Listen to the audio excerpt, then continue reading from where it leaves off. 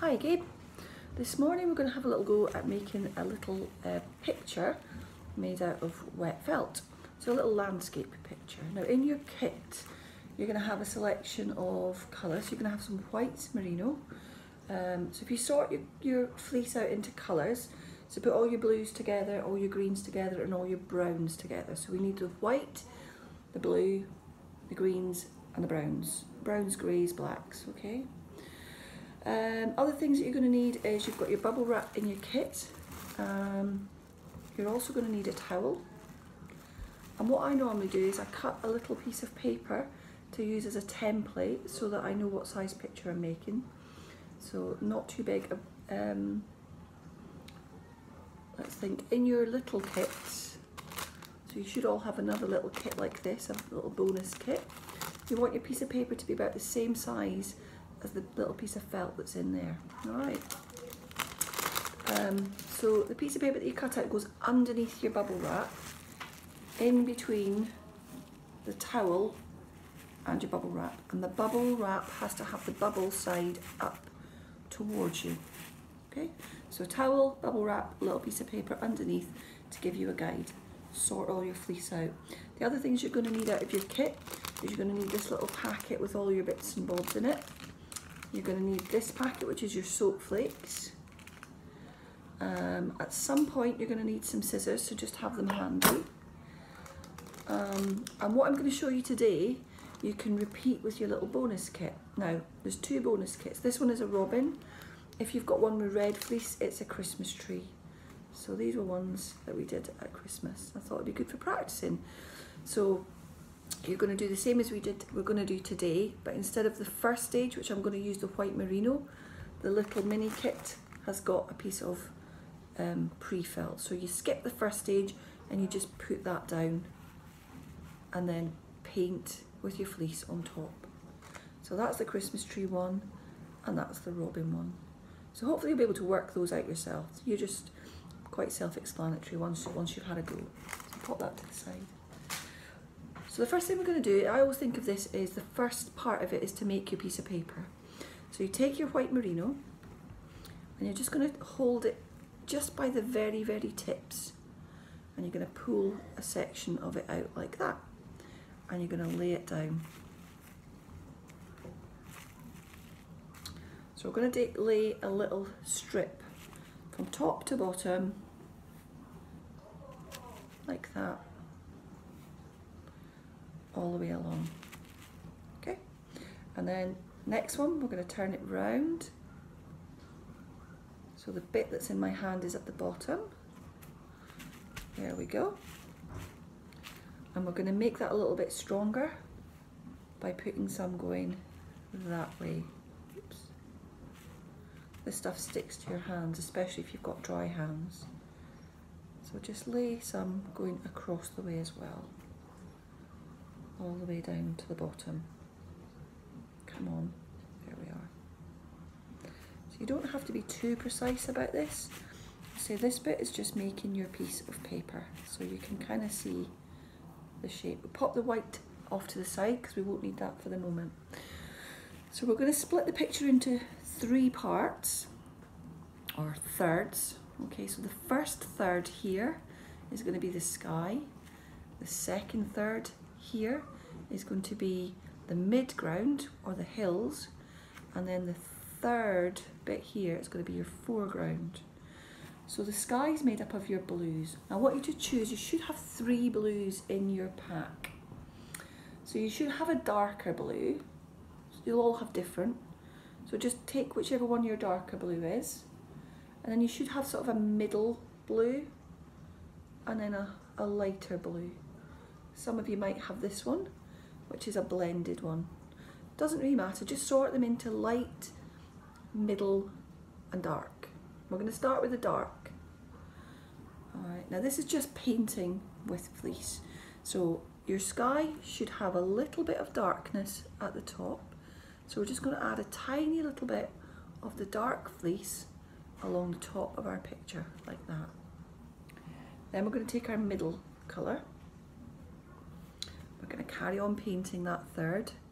So you're going to lay it down like that. Okay, and this is the third. So we've got the darker colour, the middle colour, and then the last bit is we're going to do our lighter blue. There. And you can kind of overlap them a little bit. So you end up with the first third of your picture is dark blue to light blue. Pop them to the side. Shouldn't need the blues again. So the next colours we're going to take is our browns, greys. So again, you'll all have different colours. Some of you might have this blended one. Do the same thing. This time we're going to sort it into two.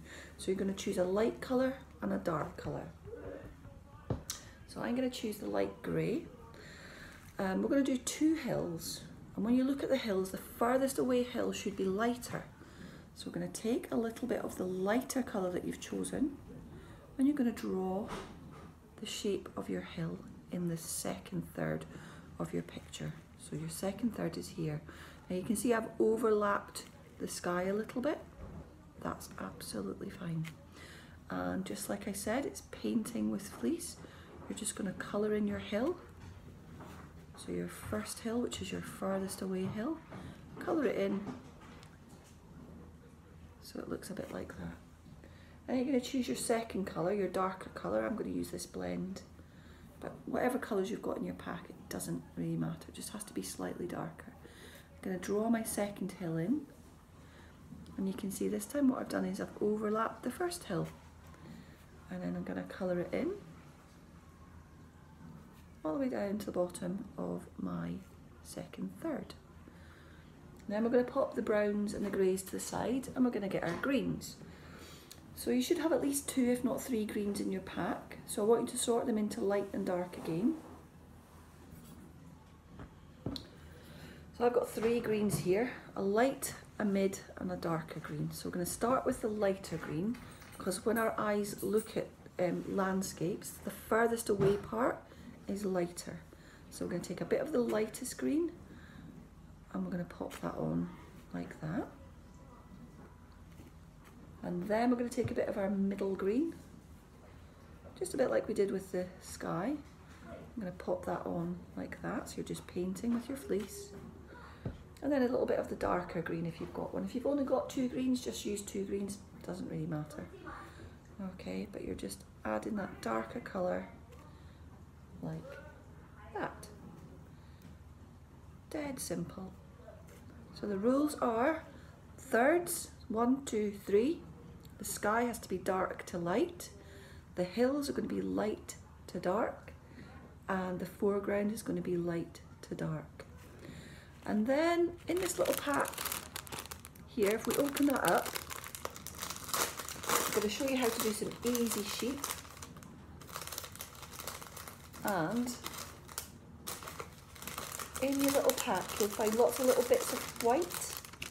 Now this stuff is silk and there's all different little bits there.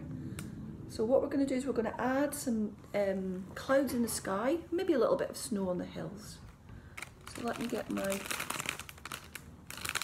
silk. So if you can you see this stuff? If you should have a bit of this. Looks a little bit like cotton wool what I want you to do is take a tiny little bit of that, and I mean a tiny little bit of it, and you're going to tease it out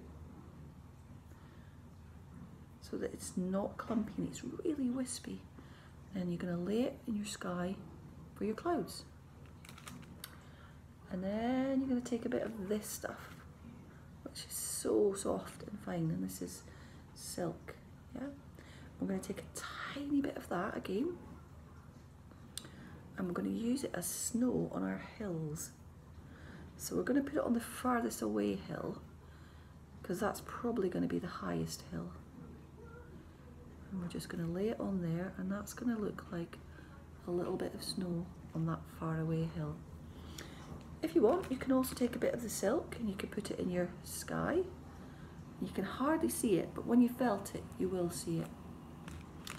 And you might have this stuff in your pack or you might have some little bits like that. It's up to you what you do next. I'm going to pop a little bit of heather in my foreground. So I'm going to use a bit of this one and I'm just going to lay it right at the bottom of my picture like that. And it's going to make, hopefully look like a little bit of heather in the foreground of my picture. When you finish with all these little bits, the best thing you can do is put them back in the bag because they end up getting stuck to everything. So put them back in the bag and pop them to the side.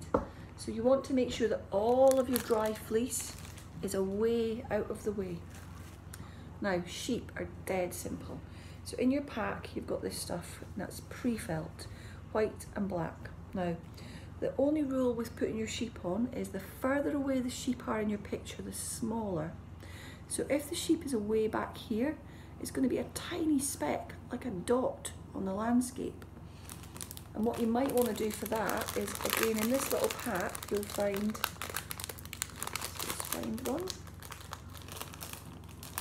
one these little things okay and you could use that as a tiny little sheep in the distance in your picture. But if you want a sheep a bit closer this is the easy easiest way to do a sheep. This is where you need your scissors. So you're going to cut these scissors are a bit rubbish so bear with me. All my good scissors are at the shop. A circle. Pop the circle on. And then you're going to cut a little triangle. And there we have a little sheep on our picture. I'm going to pop another little sheep on, I think. He needs a chum. So I'm going to have two sheep. So this is where it's up to you what you put on your picture. Everybody's picture will be different. So I'm going to pop that one off for the moment. And I'm just going to have two little sheep edge of my. Now you don't want to put your sheep right at the very bottom. Always have them up slightly and you'll see why in a minute. So all of your dry stuff out of the way, put it back in the box if you can. Um, and as you've seen, you don't need an awful lot of fleece to do this. So you might be thinking, oh, I've not got much left, but you don't need an awful lot. Tiny little bits just to give a bit of colour. Don't worry too much if there's a bit of the white showing through. It won't matter. Right, next thing we're going to do is we're going to take our soap flakes. Um, now, what you have to do is get some warm water, um, an empty squishy bottle, and you're going to make up a solution with this. So I'm going to stop the video for a second I'm going to make up the solution and then I'll tell you what to do.